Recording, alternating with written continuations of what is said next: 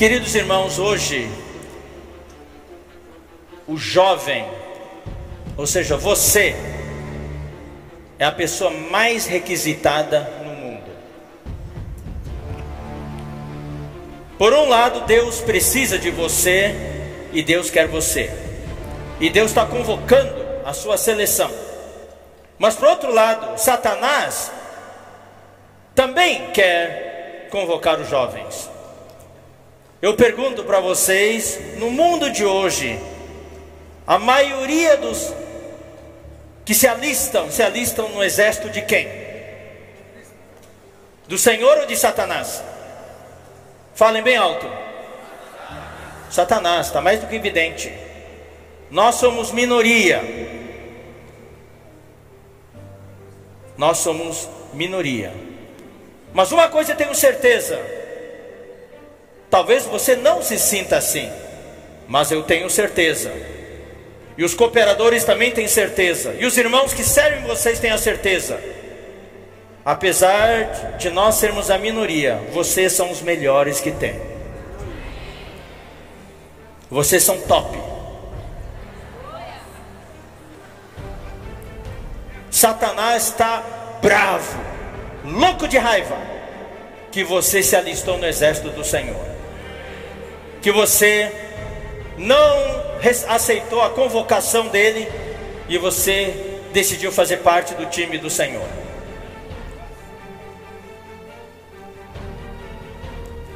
O mundo satânico, o sistema cósmico de Satanás.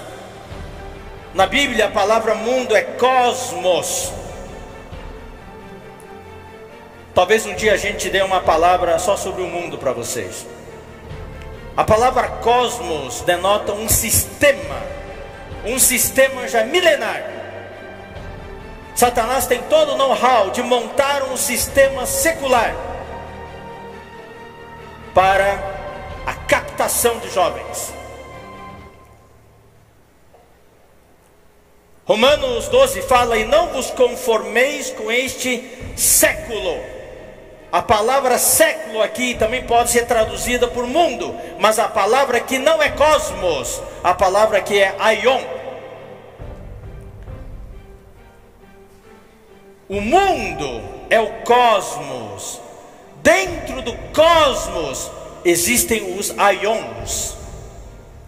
O cosmos é o sistema universal, intergaláctico, pode falar assim no universo inteiro, que engloba tudo. Mas dentro desse universo cósmico de Satanás, que é o seu mundo, o seu sistema, ele tem os departamentos. Os departamentos no espaço. Cada país tem os seus departamentos específicos para cativar os corações dos jovens. Isso é o espaço Nesse mundo que nós vivemos, mundo cartesiano, mundo tridimensional, nós temos duas coisas que no mundo paralelo, no mundo de Deus, não existem. Que são essas duas coisas? Essas duas coisas são o espaço e o tempo. E Satanás tem o aion no espaço. No Brasil ele tem uns aions, ele sabe o que, que o jovem brasileiro gosta. Você vai para a França, é outro aion.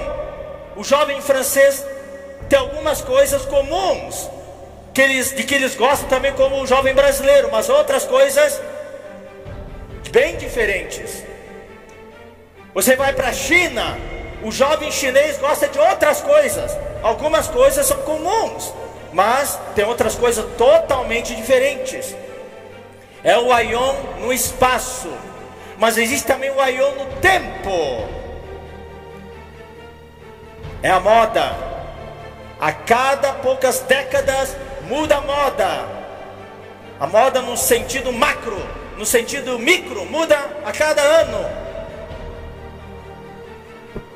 Moda outono, inverno, moda primavera. Daí Satanás decreta: esse ano é é calça deste tipo, é vestido deste tipo, é essa cor, aquela cor.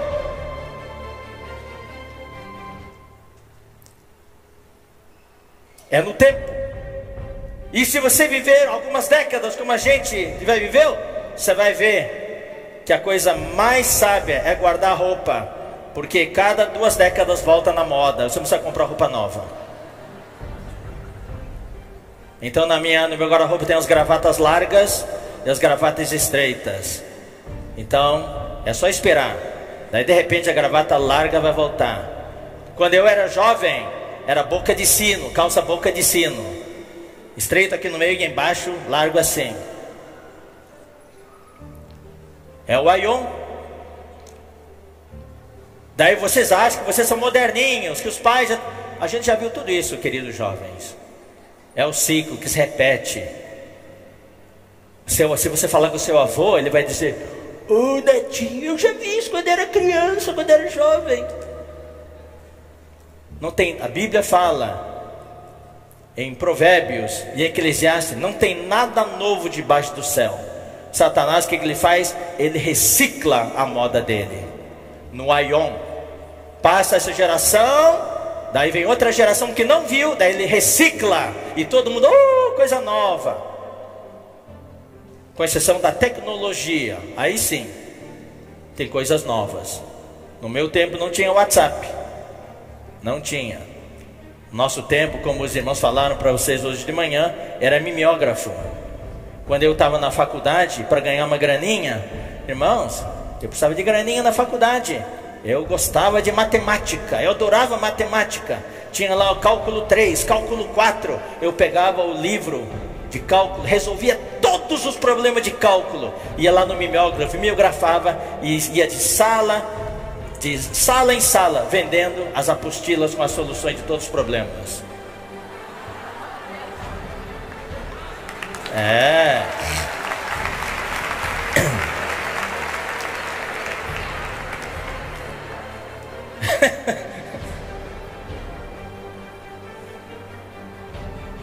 Irmãos, quando era jovem, tive muitos conflitos, tentações. O que eu quero falar para você hoje à noite é algo que eu espero que você possa captar. Nós fomos sujeitos às mesmas fraquezas, as mesmas tentações, os mesmos conflitos, as mesmas dúvidas. Só que agora é bem mais intenso. Mas não tem nada novo. Você acha que a questão da homossexualidade é coisa nova? Não, no Império Romano já havia isso. E rolava direto. Inclusive, uma das causas da queda do Império Romano é essa depravação libertinagem que corrompeu o moral do Império Romano. Desde o palácio do imperador até os plebeus. Não tem nada novo. Mas uma coisa eu sei: é que muitos de nós, os que estamos aqui hoje, tendo passado pelos mesmos conflitos, tentações, dúvidas, nós tivemos uma palavra, a palavra de Deus que nos manteve firmes até hoje. Isso que eu chamo de subsistir. A Bíblia fala que nele tudo subsiste. Ele que é o resplendor da glória. Quem é ele? É Cristo. Esse Cristo em Colossenses capítulo 1 é chamado de a imagem do Deus invisível. Deus é invisível, mas ele expressou a Deus. E ele, que esse Cristo, é o resplendor da glória. Ninguém tem acesso à glória de Deus. Deus habita em glória inacessível. Mas essa glória tem um brilho. Se você visse a glória de Deus, você morreria na hora. Deus habita em glória inacessível, em luz inacessível. Mas Cristo é o brilho dessa glória. Ele é a imagem do Deus invisível. Ele é a expressão exata do seu ser, do ser de Deus. Cristo é a expressão exata do seu ser. Nós não podemos ver o ser de Deus naquilo que Ele é na sua essência, mas Cristo é a imagem dele, a imagem exata, e a gente pode tocar em Deus através de Cristo. Agora, isso é que eu quero presentear para vocês, sustentando todas as coisas pela palavra do seu poder. Queridos jovens, uma coisa vocês não podem deixar de ter, com uma coisa vocês não podem negociar: é a palavra de Deus, é a visão governante, é a causa divina